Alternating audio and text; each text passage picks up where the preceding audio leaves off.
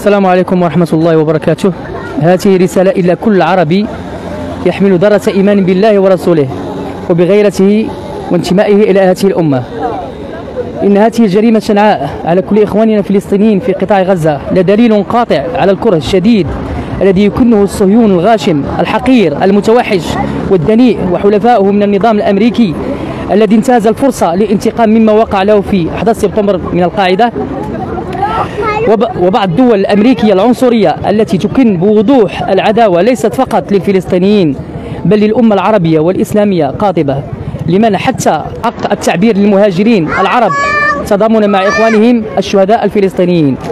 لذا على كل عربي وكل مسلم أن يقاطع تعامله بصفة نهائية مع الولايات المتحدة وإسرائيل وفرنسا وإيطاليا وألمانيا وكل الدول التي تساعد الصهيون الحقير مع الصهيون الحقير مع إغلاق جميع السفارات الأمريكية والإسرائيلية في جميع الدول العربية وقطع جميع المنتجات الأمريكية وأخاطب كل الرؤساء والملوك الدول العربية.